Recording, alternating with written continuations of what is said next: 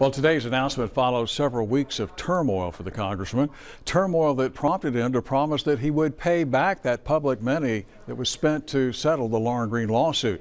Now, Chief Investigator Rick Spruill joins us now, and as we continue our team coverage, Rick, do you think that's a promise that the congressman still intends to keep?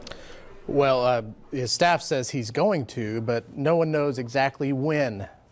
Congressman Farenthold gave his word he'd repay or at least try to repay the taxpayer money used to settle the Lauren Greene lawsuit. And I'm going to uh, get the taxpayers paid back for uh, this settlement. And while he's continued to stress his denial of specific allegations, his promise to repay the money did little to quiet calls for his resignation. Utah Republican Mia Love called it a matter of accountability, while local activists flooded Farenthold's office here in Corpus Christi to suggest there has been a swift and massive cultural sea change. Uh, this type of allegation has taken on a new meaning, a new significance. A few days later, an op ed in the local newspaper calling on Farenthold to resign as a matter of honesty. And now today's retirement announcement, likely part of an agreement with House leadership, one that leaves Farenthold a lame duck lawmaker insisting he did nothing wrong on one hand while admitting some things haven't been entirely right on the other.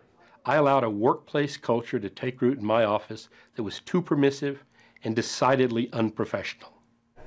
Well, Farenthold's office called me a short while ago. They say he's still working out the financial details needed to pay that money back.